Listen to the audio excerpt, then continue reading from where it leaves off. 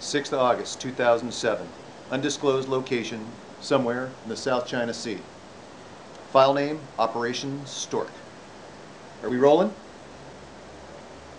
When the dust clears 15 to 20 years from now, I am confident that the real story of how we flipped Cuba will emerge. It wasn't Castro's passing, it wasn't economics, it wasn't a better standard of living. It was freedom, pure and simple freedom. And the Cuban people love freedom.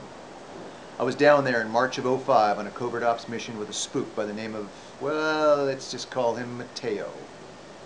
We sent this guy down there and he's, you know, engaging with the people, hitting every rum joint, every cigar stand, bar, restaurant, and beach in Havana. Here's a few file photos of him working the people in Havana. he's a very engaging fellow. He felt that in order to connect with the people, he had to drink the local spirits. Mojitos, Cuba Libres, daiquiris, you name it.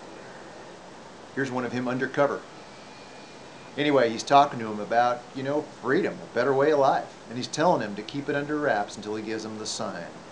Well, that's the funny part, see, because the sign is this crazy dance called the stork.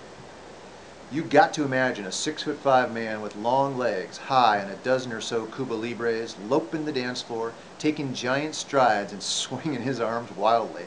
I personally saw it and was terrified, but the Cubans seemed to respond to it.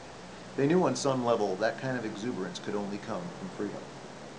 And when he did the dance, he knew, and they knew, it was time to do something about their political and economic situation.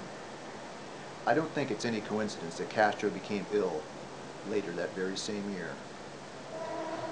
Since that time, they publicly commemorate Mateo with El Storco, a dance in the plazas on stilts you see here. Yes, he is remembered fondly in Cuba. Mateo is currently on assignment elsewhere. I hear he's up in some undisclosed suburban location in Northern California, working his magic.